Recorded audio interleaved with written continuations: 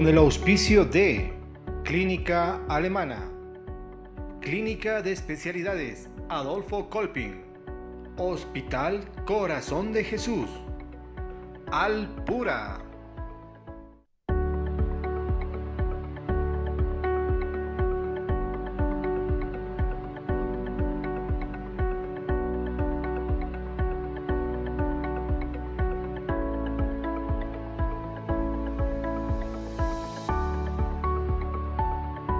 Presentamos Doctor TV.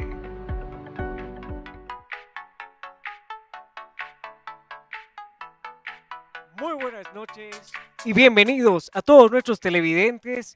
Ya comienza su programa Doctor TV, programa 564 en este miércoles 11 de julio por la nueva televisión universitaria. Permítame dar la cordial bienvenida esta noche a nuestro conductor Calvarone. Muy buenas noches y bienvenido. Muchas gracias, Cristian. Bueno, como siempre, nosotros acá lunes, miércoles y viernes con este espacio de salud para de alguna manera informar y hacer prevención. Como siempre, los voy a, a acompañar por unos instantes mientras lo tenemos al doctor Larrea que está en una actividad muy importante. Permítame ingresar también a la televisión con ustedes para poder hacer algunas consultas en cuanto a salud en este programa que, lo decíamos, es un programa que ante todo quiere hacer prevención en esta época tan fría del año. Tenemos que tomar en cuenta que si bien se ha alargado una semana más las clases en el sector, especialmente del occidente, por las bajas temperaturas que van a empezar a contar ya en esta semana y se están demostrando con una temperatura ambiente que por lo menos tenemos 9 grados centígrados, en el entendido de que incluso el día de mañana bajarían a más de 0 grados. Es por eso que, que tenemos que tomar los recaudos necesarios en cuanto a abrigarnos muy bien, abrigar a los niños, en cuanto también a las personas que salen muy temprano a sus trabajos, a sus labores cotidianas, puedan de alguna manera tomar los recaudos. No está de más, como siempre, utilizar agua y jabón, muy importante para lavarse constantemente las manos, puesto que las infecciones, eh, por lo menos que se transmiten de los resfríos, estas eh, enfermedades que se tienen respiratorias, necesariamente entran por el contagio que tienen con personas que ya tienen, eh, bueno, la gripe. Esperemos entonces que tomemos siempre muy en cuenta este aspecto y que los niños, especialmente si van a tener ese alargue de esta vacación, puedan también cuidarse. La vitamina C, como siempre, recomendable para que los niños puedan ingerir, especialmente en las frutas. quiero hacerles un pequeño anticipo. Si bien hemos podido encontrar en el mercado los cítricos que están bueno, a, precios bastante accesibles. También el kiwi es un buen componente de vitamina C. Se dice que consumir, por ejemplo, un kiwi, vale decir, una, esta fruta muy eh, sabrosa, eh, puede de alguna manera equivaler a unas seis naranjas. Entonces es muy importante el consumo de la vitamina C y además el precio también es accesible. Pero con esta recomendación de ingreso, ¿qué tal si vamos también a lo que nos presenta el Colegio Médico Departamental de La Paz, de la Paz a través de la primera Jornada Nacional de Emergencias Otorrino Oftalmológicas en el primer nivel de atención? Cristian, tenemos ya, eh, nos vamos a contar en adelante con el eh, vamos a poder tener este tip para que ustedes puedan de alguna manera también informarse de esta primera jornada nacional de emergencias otorrino-oftalmológicas en el primer nivel de atención. ¿Qué días se van a llevar a cabo, Cristian? Esta jornada se va a desarrollar en fechas 18, 19 y 20 de julio en el auditorio número 1 del Colegio Médico Departamental, ubicado en la calle Vallivian, 1266, de horas 18 horas a 21 horas, con un costo de 50 bolivianos con certificados con valor curricular. Ahí tenemos el afiche, muy importante que ustedes pueden considerar los temas que se van a tocar, como el ojo rojo, atención primaria, la epitaxis, la otitis media aguda, cuerpos extraños, eh, crisis vertiginosa, el trauma ocular, la conjuntivitis. Vamos a también tomar temas como el glaucoma, el ataque agudo, el flemón y el absceso, el periamigdalano, también eh, temas como la hipocausia súbita, fracturas nasales y la sinusitis aguda. Es muy importante que tome en cuenta entonces todo este temario en esta primera jornada nacional. Reiteramos dónde se va a llevar a cabo, Cristian. Así es, reiteramos la fecha, es en 18, 19 y 20 de julio en el Colegio Médico Departamental, auditorio número 1. Bueno, un tema muy importante que hemos tomado y enseguida estaremos ya con nuestro director y también conductor principal, el doctor Luis Larrea, con los invitados que ya están acá también en nuestro estudio. Le mando un corte con usted, mi amigo, y estamos enseguida con Doctor TV.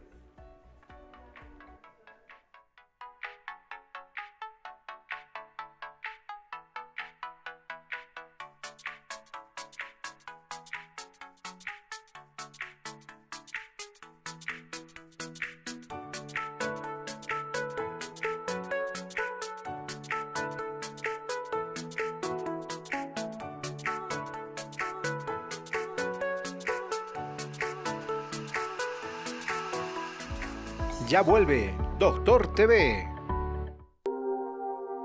Clínica Alemana. Salud para todos. Atención en las especialidades de reproducción asistida, tomografía helicoidal, fluorotomografía en tiempo real, hemodinamia, pediatría, maternidad, terapia intensiva y neonatal, cuidados intermedios, cirugía, cardiología y servicio de emergencia a las 24 horas. En nuestras instalaciones con tres tipos de internación individual, habitaciones regulares, semi-suite, suite status. Clínica Alemana. Salud para todos. Avenida 6 de agosto 2821, San Jorge. Clínica de Especialidades Adolfo Colvin. Contamos con los servicios de unidad de terapia intensiva, medicina general, cirugía general y laparoscópica, pediatría, ginecología y obstetricia, cardiología, otorrinolaringología, traumatología y ortopedia, odontología integral y demás especialidades, ecografía, rayos X, farmacia y laboratorio las 24 horas. Dirección calle Constantino de Medina, número 250, zona Vía Dolores El Alto. Continuamos con Doctor TV.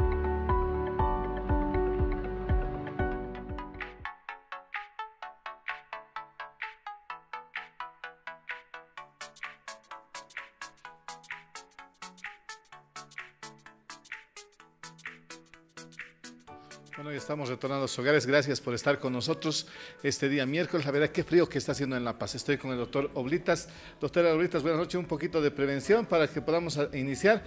Esto de la prevención es muy importante, no lo olviden. Estamos con todo lo que refiere a hacer la prevención, a que en este tiempo pues frío que está haciendo, siempre tratemos de aquel niño o aquella persona que tenga la gripe, que tenga síntomas de elevación de la temperatura, si la temperatura pasa de los 38.5 grados, inmediatamente lleva al médico porque realmente es algo que tenemos que ir previniendo. Y eso de prevenir es algo que nos interesa con ustedes y con todo lo que es los niños, los jóvenes, los adultos. No queremos tener, lamentar lo que refiere decesos justamente por el hecho de que no esté bien curada una enfermedad respiratoria. Doctor Oblitas, buenas noches, ¿cómo está? Buenas noches, doctor. Muchas gracias, como siempre, por la acogida y la invitación. Bueno, nosotros queríamos tocar un tema muy importante, como es esto de eh, factores de riesgo de la diabetes. ¿sí? Es un tema que lo queremos tocar así, muy eh, simple, tal vez eh, en términos muy fáciles, para que usted vaya viendo cuáles son los factores que llevan a la diabetes. A ver, doctor, ¿cuáles son esos factores?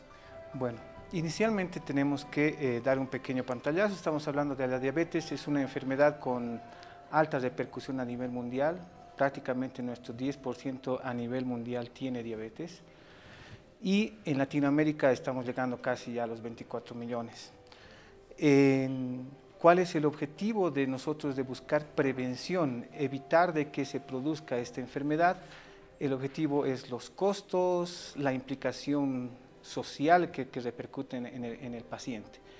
Y la diabetes obviamente es una enfermedad que es una enfermedad crónica, que es para toda la vida, que muchos, eh, muchas personas padecen y eh, que le lleva a eh, las complicaciones, ¿no?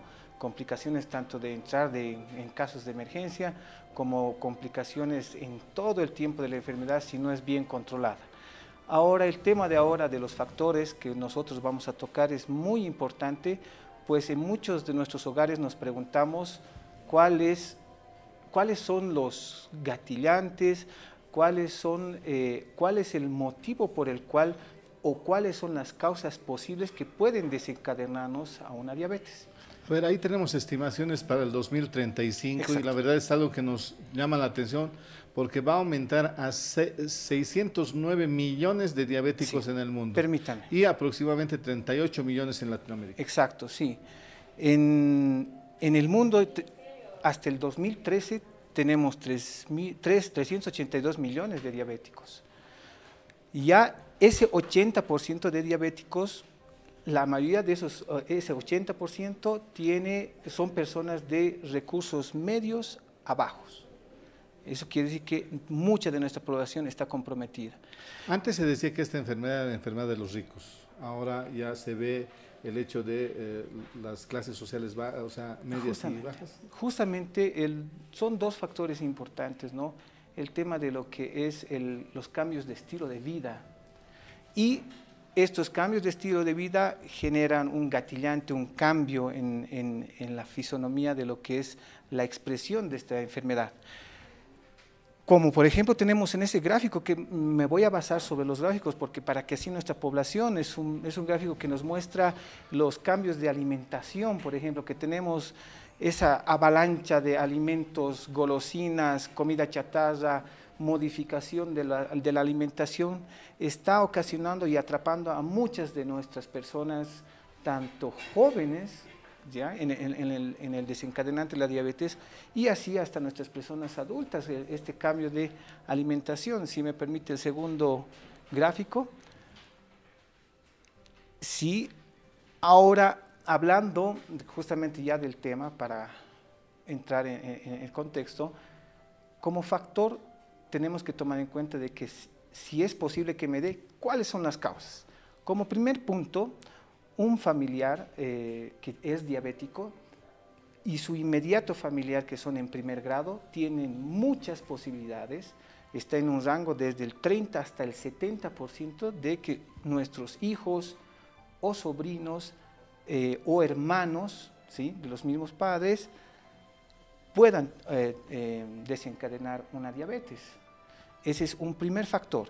El segundo factor que queremos mostrar, adelante en el siguiente, es un factor que prácticamente lo adquirimos, ¿no? Nadie sale con esa barriguita de la, de la mamá ni con ese sobrepeso. Pero eh, lamentablemente tenemos esta figura a nivel de, de toda nuestra población.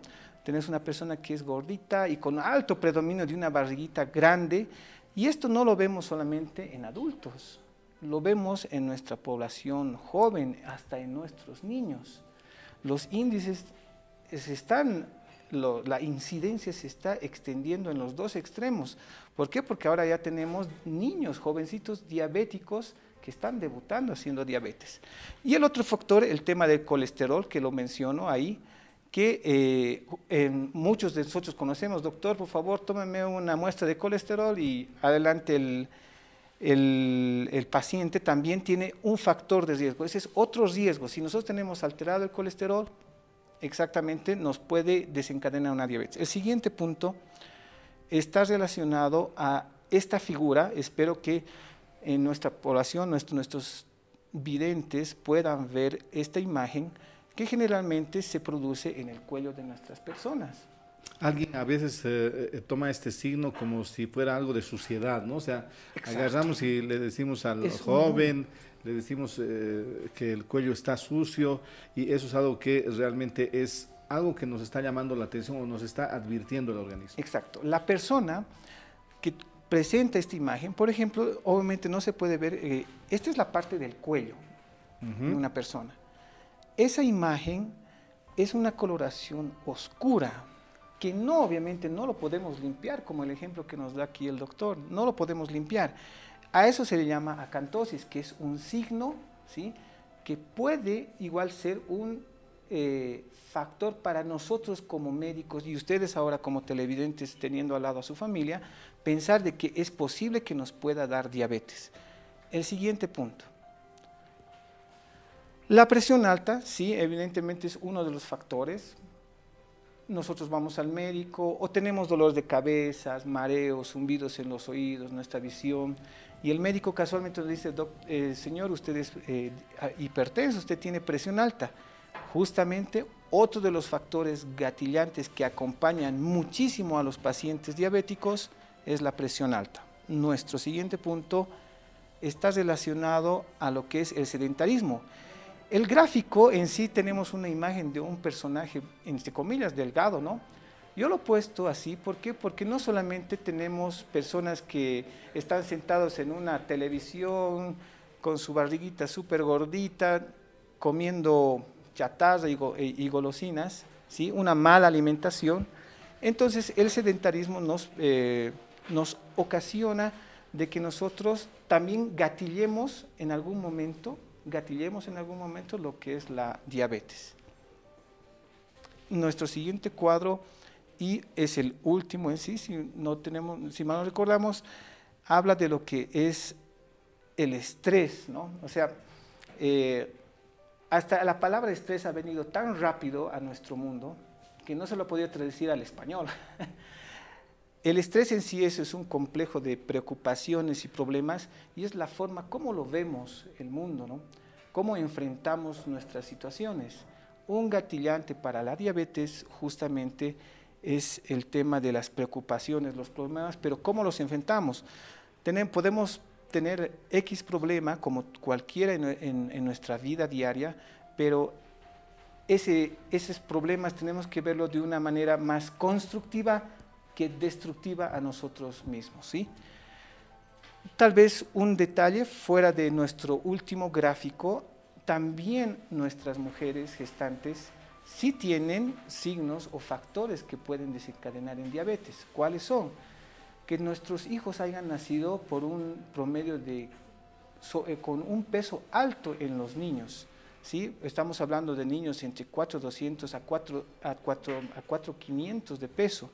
Entonces, o en el caso de que también en el screening, en el control médico ginecológico o del médico, aparece una paciente con una glicemia elevada. ¿no? Bueno, eh, nosotros vamos a invitar, Cristian, a la línea telefónica en estos últimos minutos que nos quedan. Nuestros televidentes pueden comunicarse a la línea 244-3413 para hacer sus consultas correspondientes a los factores de riesgo de diabetes. Bueno, entonces ya lo saben, están invitados a llamar a, la línea telefónica.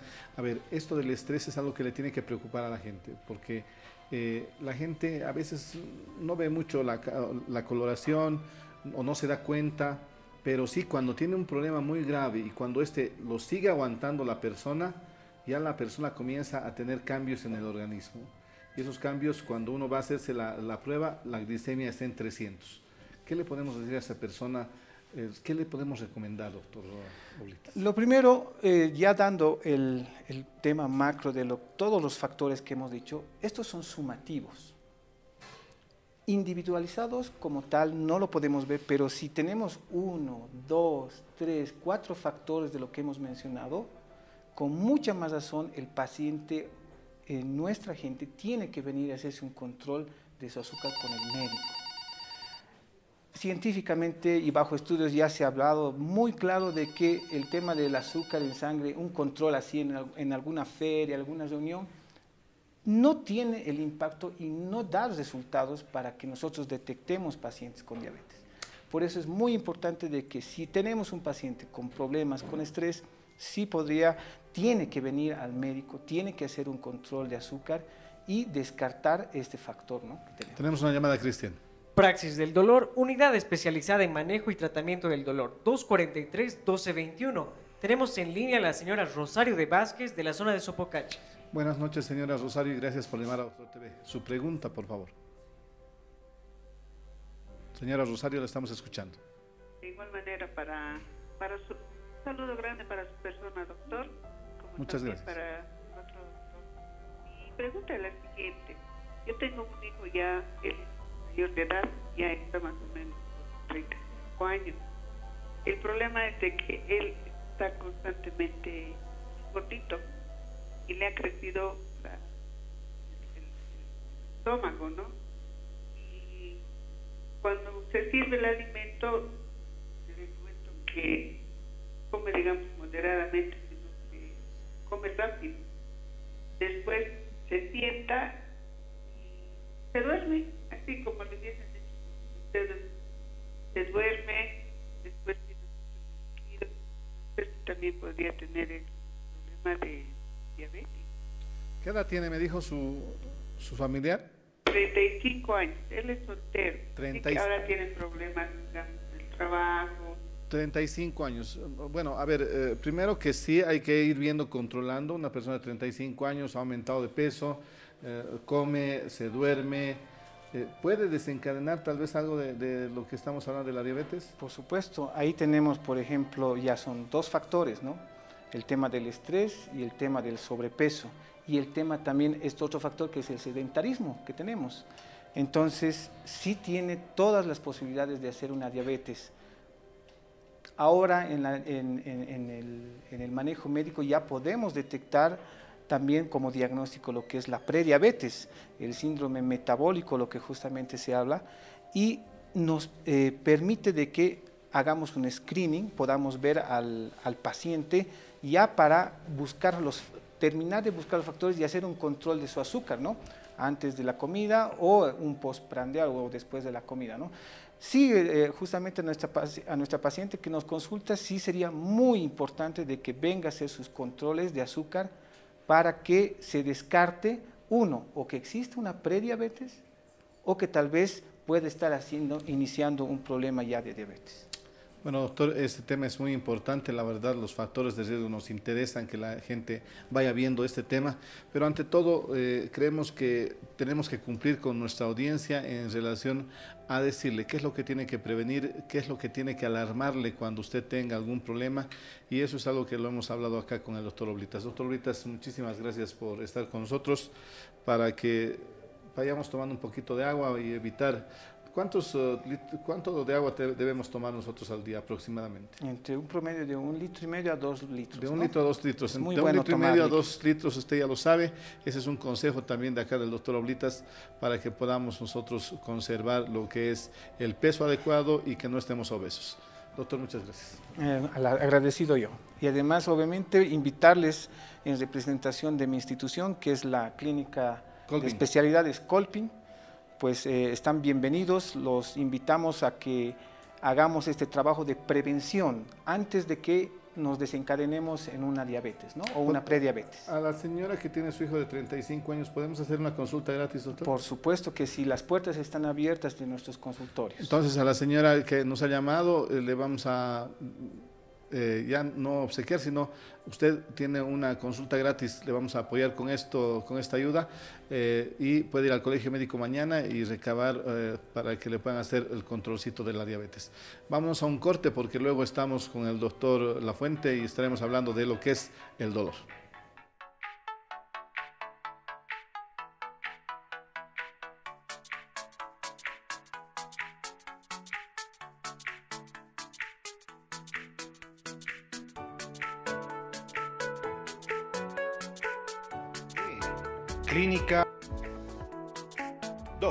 TV.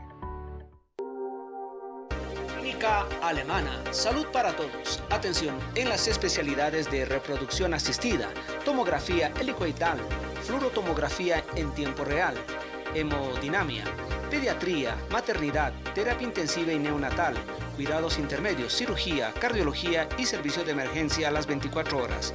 En nuestras instalaciones con tres tipos de internación individual, habitaciones regulares, semi-suite, suite status. Clínica Alemana. Salud para todos.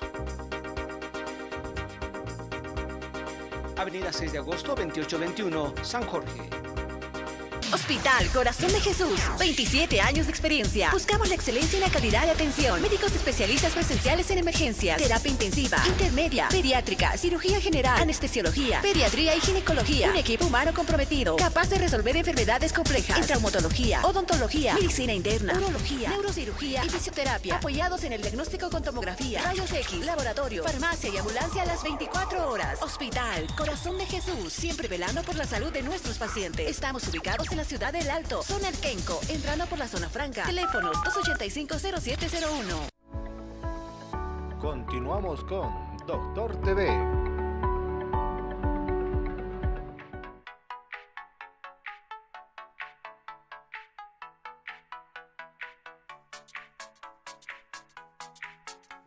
Retornando a sus hogares. Muchísimas gracias por esperarnos estos uh, minutitos para cumplir con nuestros auspiciadores. Estamos ya con el doctor Alex Lafuente.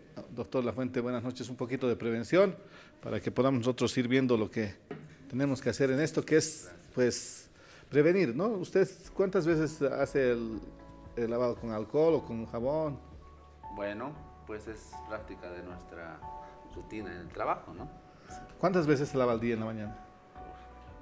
Depende de las circunstancias. Si, digamos, atendemos cuatro o cinco pacientes, pues hasta diez veces, digamos, ¿no? Si hay cirugías, procedimientos que hacemos, nos quedamos ahí lavándonos más tiempo y lógicamente tiene que ser con guante. ¿no? Algún momento vamos a hablar de que usted sepa cómo se lava un médico antes de entrar a un quirófano las manos, porque realmente es algo que usted debe saberlo para que vea que no es algo, algo simple. Y vamos a hablar algún rato de este tema de lavado de manos. Doctora La Fuente, bienvenido. Y pues eh, tenemos que hablar de un problema que de la gente es usual y es el dolor lumbar, el dolor en la parte baja de la espalda que le llaman. Así es. Eh, bien, el dolor lumbar en realidad es una molestia que el 75% de las personas termina experimentándoles en el transcurso de su vida, ¿no? Por alguna razón. Muchas veces estos dolores pueden ser dolores bastante eventuales, nosotros llamamos agudos, que pueden pasar por una causa mm, muscular, un espasmo, por ejemplo, un estirón común, o pueden pasar a otro tipo de circunstancias que pueden ser lesiones a nivel de la estructura ósea de la misma columna o pueden ser eh, ya conforme vaya avanzando la edad hacer que esta columna eh, en su conducto, nosotros debemos recordar que ahí está la misma médula y, las raíces, van haciéndose más estrechos, eso se llama canal estrecho. Entonces hay muchas causas que pueden producir dolor lumbar en realidad, y podríamos tal vez eh, concluir que la mayor cantidad de casos están eh, dados por casos de estrés, ¿no? los que son generalmente lo que llamamos síndrome miofacial. Tal vez podríamos comentar ese tema porque este síndrome es generalmente en aquellas personas que tienen bastante preocupación y no termina siendo solamente lumbar, sino haciendo que sea también la parte torácica, llega a la parte cervical y el paciente siente como que tiene un palo en la espalda que no le deja mover, etcétera, y realmente eh, se hace como un cordón muy grueso, ¿no? Esta es una contractura sostenida, que en primeras instancias esto puede, puede solucionarse fácilmente por una terapia física y cuando va haciéndose más crónico el cuadro, más de tres meses, es cuando nosotros entramos en el concurso, ¿no? Porque nosotros lo que hacemos es intervencionismo, podemos hacer terapias de relajación con ozonoterapia, por ejemplo, eh, o hacer proloterapia cuando las eh, molestias identificadas, lógicamente después de un examen que nosotros solicitamos al paciente, por decir, un paciente es, dependiendo el examen físico que nosotros encontremos, pues eh, haremos que o pidamos una ecografía, o pidamos una tomografía, o pidamos una resonancia, ¿no? Para ver qué tipo de lesión es el que está teniendo el paciente. ¿Cuándo debemos acudir nosotros a lo que es praxis de lo, a ver, cuando hemos agotado muchas de las muchos de los tratamientos que ha, que ha, recibido el paciente, ¿qué puede recomendarnos eh, el doctor Lafuente en relación cuándo se debe ir a bloquear? Porque la gente piensa que esto es lo primero que debe hacer. ¿Cómo les recomendamos, doctor? A ver, sí, en realidad esto tiene fases a seguir. Cuando un paciente tiene una molestia reciente, muchas veces ni acude al médico, ¿no? va a la farmacia y eso es una gran verdad. Y puede ser por un, espasmo, una contractura eventual al levantar un objeto pesado a, a su hijo mismo, etc. Y el paciente se va a la farmacia, se compra su antiinflamatorio no esteroideo y después de unas dos o tres dosis, pues evidentemente mejora cuando no es grave. Cuando esto va haciéndose más intenso, como podemos ver en la imagen, podríamos estar tal vez frente a un caso de un síndrome bifacial, podría ser un síndrome facetario, podríamos estar hablando de una hernia de disco también, una protrusión en todo caso, ¿no? Y el paciente siente esa molestia tan intensa que no le deja caminar. Cuando el cuadro se hace crónico, como usted comentaba, después de que el paciente ha ido a un médico, a otro colega y a otro, eh, no encontró la posibilidad de encontrar eh, alivio a su molestia, es de repente eh, el momento en que Praxis del Dolor, y nosotros como especialistas, somos cuatro médicos que trabajamos en esto, no solamente hacemos casos como el, el de la imagen, porque eso es un dolor crónico no oncológico, también vemos pacientes con cáncer y que a veces no pueden moverse siquiera y, tenemos que ir hasta domicilio. Entonces, eh, esto hace que seamos uh, una cantidad de personas que permitan acceder al paciente, ¿no? hasta su domicilio incluso. Bueno, cuando hablamos de este dolor crónico, eh, si el paciente ha tenido esa molestia más de tres meses, viene a nuestra consulta, mandamos los exámenes que consideremos y es muy probable que nos encontremos o frente a un síndrome miofascial, una contractura sostenida, o una lumbalgia por una protrusión discal o eh, un síndrome facetario. En estos casos estamos hablando de que existe irritación de la raíz. En todos los casos, incluso en el síndrome miofacial, existe contractura. Las fibras hacen este fenómeno y presionan a las raicillas que están dentro de ellas, ¿verdad? Y si estamos frente a un... Aquí tenemos una interesante eh, anatomía, que es la parte muscular, y pueden ver ustedes ahí que tenemos unas cositas amarillas que son prácticamente los nervios, son los que terminan sufriendo cuando existe dolor y cuando existe contractura. Cuando tenemos un paciente con un síndrome facetario, puede ser un paciente que a joven incluso que puede estar mucho tiempo en la computadora o puede estar eh, bastante tiempo con, con uh, trabajos pesados y hace que las articulaciones que están entre una y otra vértebra y son muy pequeñitas como orejitas terminen sufriendo y estas se llaman facetas articulares que no están acostumbradas a recibir un movimiento muy permanente, pero cuando el paciente hace un movimiento brusco esto sucede y le produce un dolor muy intenso que pues ni la radiografía ni la tomografía muchas veces nos da luces. Y eh, la única prueba diagnóstica es entrar con una aguja, ingresamos suponiendo en estas áreas, en el lugar que nosotros hayamos considerado después del examen clínico, digamos una región L4, L5, L3, son, así se los enumeran las vértebras, ¿verdad?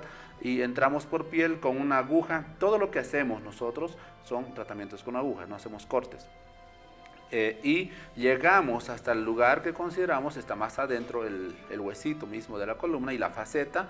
Identificamos eso con un equipo que se llama arco en C, lo hacemos en quirófano desde luego Dejamos la medicación y el paciente siente el alivio. Si el cuadro es reciente, entonces eh, de repente con dos o tres sesiones el paciente no sienta más molestia y prácticamente esté curado. Cuando el paciente tiene un cuadro que puede estar con un dolor de uno, dos, tres años de evolución y sucede, Luis, nos ha pasado muchos casos que estaban con psiquiatra inclusive porque lógicamente como digo estos cuadros no se manifiestan ni siquiera con la tomografía. Entonces eh, lógicamente el colega le dice, está bien, está bien, se ve nada, claro, y, no es mentira tampoco. Y la única forma de diagnosticar es con la punción, identificando con eh, un arco en C, dejando el medicamento en la misma faceta, en la articulación facetaria, que son orejitas muy chiquitas y están pegadas así, o en, la misma, en el mismo ramo medial, dependiendo del caso, si fuera un síndrome facetario. Vamos, a, vamos, a, vamos a hacer una cosita. A ver, Cristian, invítanos para que vayan llamando porque antes de que se nos acabe el tiempo. Nuestros televidentes ya no nos pueden dar ya las consultas correspondientes al dolor lumbar a la línea telefónica 244-3413. Bueno, vamos a ir viendo las líneas telefónicas. A ver, estamos en este nivel. Aquí decimos que acá eh, una referencia que tenemos ah. los médicos es justamente las, las, ¿no? Y a partir, a partir de aquí nosotros contamos ya lo que va a ser L4, L5 hacia arriba, L4 hacia arriba y L5 hacia abajo. Muy bien, muy bien, es exacto. Eh, para dolor lumbar estamos hablando de aquí para abajo, en realidad hasta acá.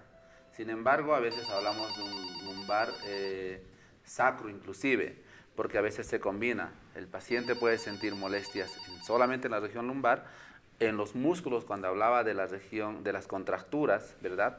Puede ser también una protrusión discal cuando un disco y otro han sufrido este fenómeno y han permitido la salida de la gelatina, el núcleo pulposo que nosotros tenemos ahí adentro y que lo que hace es irritar a la raicita. Si está ahí entre una y otra vértebra sale y la raicita se irrita y eso produce bastante olor que también eh, dependiendo del nivel se puede eh, concluir como una ciática, ¿no? las famosas ciáticas. Tenemos una llamada, Cristian.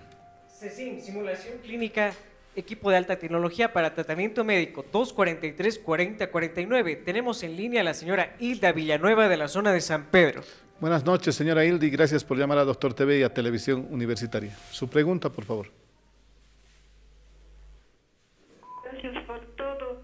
Pues yo siempre es, que llamo y porque tengo este dolor, justo lo que el doctor dice tengo en la parte baja un dolor fuerte, así de, de, cuando camino, cuando estoy parada y se me el dolor baja a los tobillos, a los dos tobillos, doctor, y ese dolor ya tengo un tiempito así. vamos a ver qué es lo que dice el doctor. Es un dolor que va desde esta parte de la región lumbar y llega hasta lo que es la parte del tobillo, hasta acá abajo. Así es.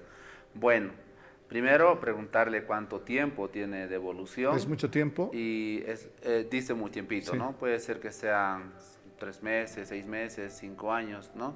Eh, eh, habrá que ver.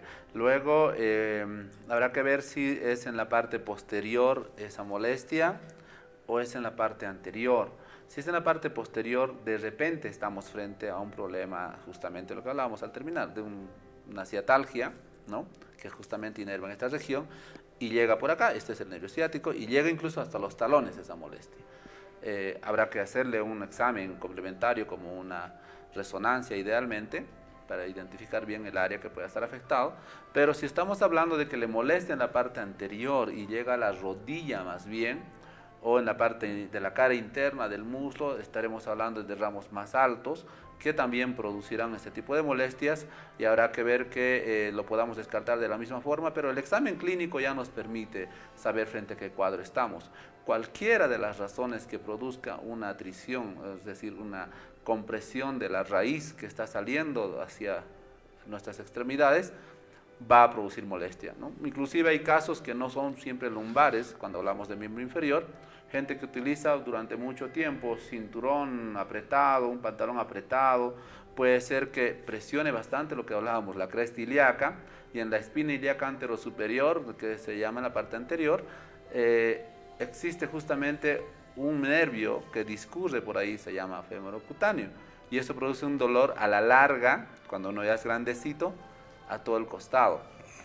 Eso se llama hemorragia parestésica. Entonces, eso también eh, puede ser otra causa de dolor. Al final, todas las causas que produzcan atrición de una raíz. En este tiempo que estamos de frío, doctor Lafuente, justamente se, se van viendo más casos de estos, ¿no es cierto? Justamente porque el organismo contrae los músculos y ese es un motivo también que ustedes tienen que tomar en cuenta. Tenemos una llamada, Cristian. Clínica de Ojos Burgoa, 245-9383. Tenemos en línea a la señora María Fernández de la zona de San Pedro. Buenas noches, señora María, y gracias por llamar a Doctor TV. Su pregunta, por favor.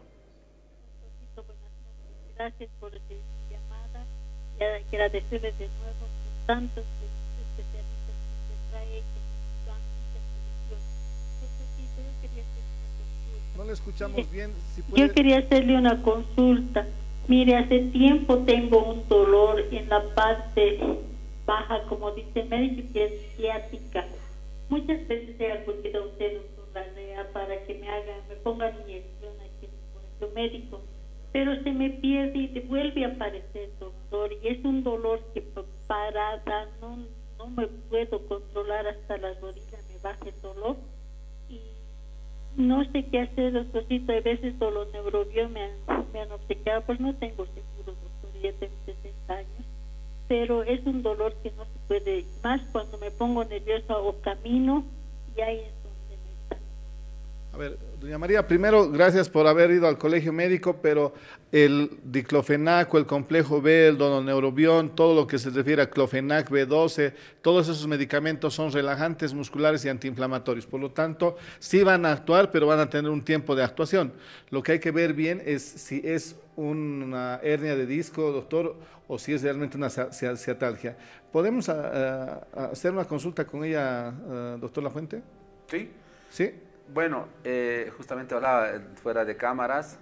Eh, durante dos semanas, a partir del lunes, yo estoy ausentándome del país y voy a estar para agosto prácticamente. Entonces, eh, sí podemos hacer que puedan coordinar con Maggie internamente para que podamos hacer un descuento del 50% ¿no? a las personas que llamen aquí al canal y podamos atenderlos. Eh, como les dije, sería a partir de, la primera semana de agosto, en mi caso, con mi persona. Sin embargo, Praxis del Dolor va a estar también atendida por los, otros colegas. ¿Qué le parece si por ser el día, por ser el mes paseño a la señora María la podemos ver hasta el día viernes a más tardar y usted eh, la atiende? Eh, Un poco difícil porque el viernes tengo agenda llena, o sea, va a estar muy, muy complicado. No la programamos este- en estos días. ¿Le parece, Sí, doctor? sí, sí. Bueno, entonces, Eh, doña María, mañana pase por el, por el colegio médico, pase y nosotros vamos a viabilizar con el doctor Lafuente. Sí, así a es, ver, más o menos, ¿cómo va, doctor, este tema? Bueno, en el caso de la señora, eh, las opciones eh, siempre van a ser a partir de un examen complementario. En primera instancia, revisarla. Tras revisarla, vamos a considerar pedirle o una ecografía de repente, o una tomografía o resonancia en el mejor de los casos, y vamos a lograr determinar qué existe a ese nivel. Si ha sido operada antes, tal vez ha sido operada antes, o por ahí no.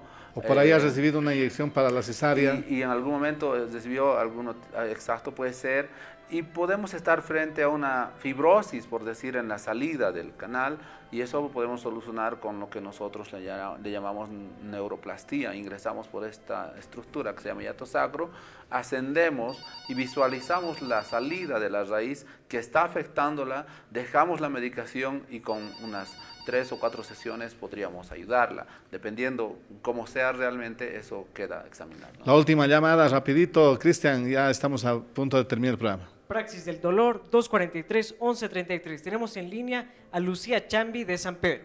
Buenas noches, señora Lucía, y gracias por llamar a Doctor TV. Su pregunta, por favor.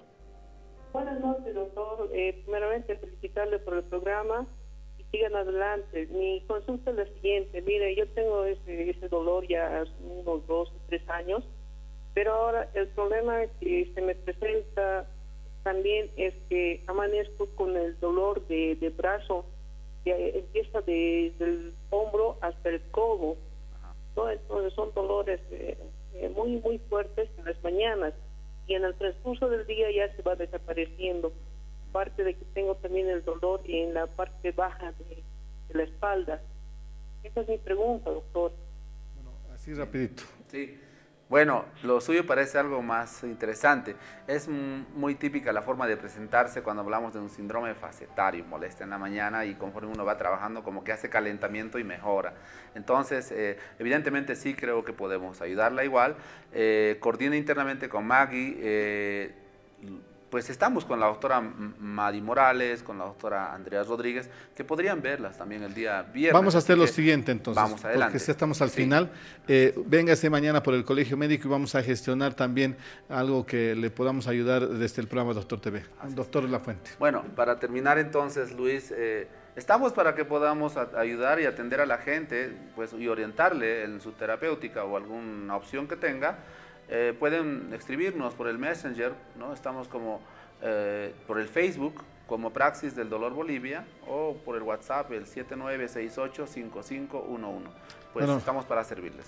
Bueno, ya lo saben, queridos televidentes, hemos llegado al final de su programa Doctor TV, pero yo quiero decirles, es mes de la paz, o sea que estamos en lo que es, vivan los chucutas, vivan los pico verdes, este pueblo valeroso de la paz, del cual soy paseño de corazón, agarremos y le brindemos todo lo mejor a nuestra querida ciudad de La Paz. Vamos hasta el día viernes y el día domingo y el día viernes, sábado al desfile y a decir presentes paseños. Hasta el día viernes.